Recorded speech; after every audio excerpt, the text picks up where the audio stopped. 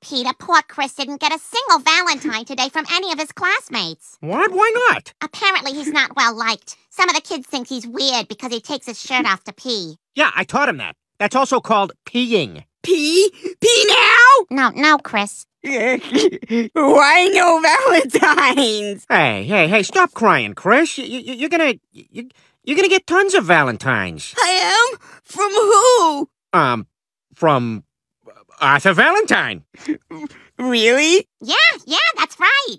Who's Arthur Valentine? Only the most magical man ever, and he comes every Valentine's Day on on a a, a purple Vespa to um to bring candy and sweet notes to children who've managed to not use any swears in the last year. He does? Uh huh. And he has a long beard. Oh, and, and he's got an eye patch, but but not for medical reasons. He just likes the look. Plus, he he wears a cat in a hat hat and sometimes a scarf, no matter what Lois